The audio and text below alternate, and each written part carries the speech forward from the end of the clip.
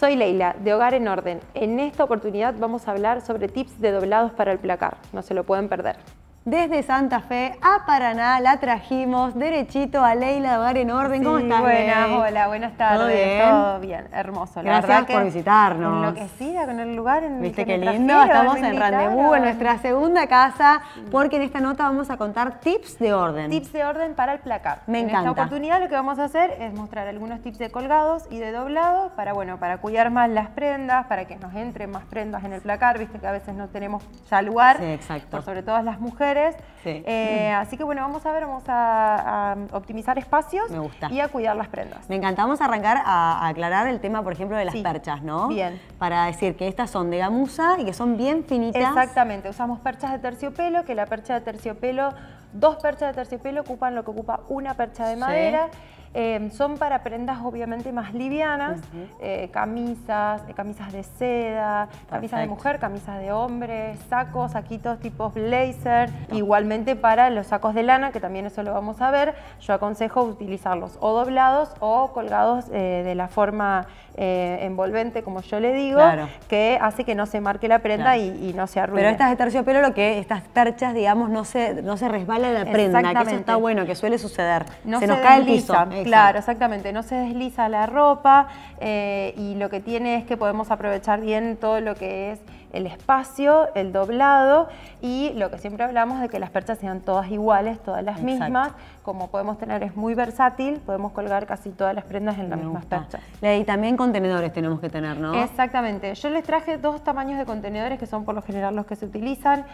Podemos o no utilizar contenedores, van a ver que los tamaños de los contenedores que estamos usando, por lo general se pueden reemplazar por alguna cajita, por alguna caja de ropa interior, de perfume. No necesariamente tenemos que salir a correr a comprar contenedores porque a veces los contenedores en realidad los necesitamos para hacer divisiones en los cajones. Hay que tener en cuenta Hay eso. que tener en cuenta los tamaños. Me encantó el tip del cinto. El cinto. Los cintos los que hacemos normalmente es siempre los enrollamos sobre su propio eje. En esta técnica pasamos la hebilla por dentro, entonces lo que hace es la misma hebilla mientras lo vamos girando, es ir trabando el cinto. Cuando lo guardamos en el contenedor o en el cajón, lo que permite es que no se abra de vuelta. Exacto. Lo mismo los pañuelos, todo bien prolijito, Claro, ¿no? sí. Dobladitos para ver Exactamente. las estampas, los colores. Claro, lo que podemos hacer son dos formas. En la mesa, como ven, está el estilo fichero, el que va uno por sobre otro. Después lo que podemos hacer en el contenedor es usar el mismo estilo fichero, pero poner uno por al lado de otro. Sí. Entonces, eh, volvemos a lo mismo, aprovechamos los espacios. Si son pañuelos de seda, por lo general se desarman. De la forma que los querramos doblar, se Se desarman. desarman. Entonces es súper cómodo poder dejarlos uno por sobre otro. eh, entonces, eh, ya te digo, ocupa menos espacio y queda mucho más prolijo. Perfecto. Y los pantalones también, ¿no? Para verlos. Los pantalones, uno al lado a mí del me otro. gusta, sí, a mí me gusta eh, sugerir los pantalones doblados o como están aquí en Rendes, doblados bien uno por sobre otro en pilita, Sí. como los tenemos en los locales de ropa, o si no en contenedores eh, doblados tipo fichero.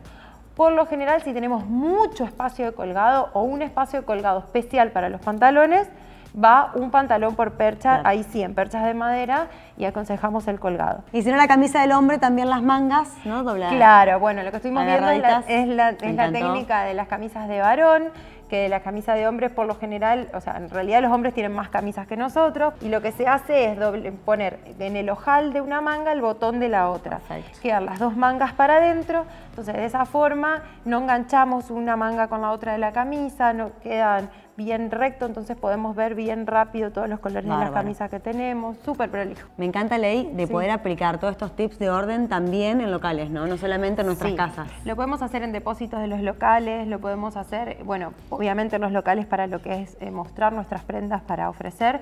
Y en sí lo que también es importante es que esto del orden no solo lo hacemos con ropa y en los placares, es lo más común porque es lo que primero se nos Sí. desmadra en todas las casas.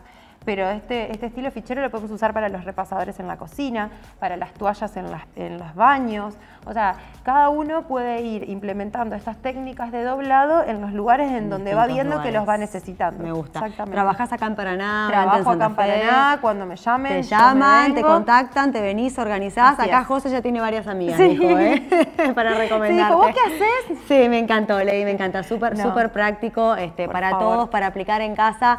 Gracias a Rendezvous por nuevamente este local hermoso. Y gracias, Leila, por venirte de Santa Fe por favor, gracias por invitarme siempre y tenerme en cuenta y tenerme paciencia, Gracias. porque últimamente no tengo tiempo para nada, pero las chicas me esperaron, así que Gracias, muchísimas Ley. gracias.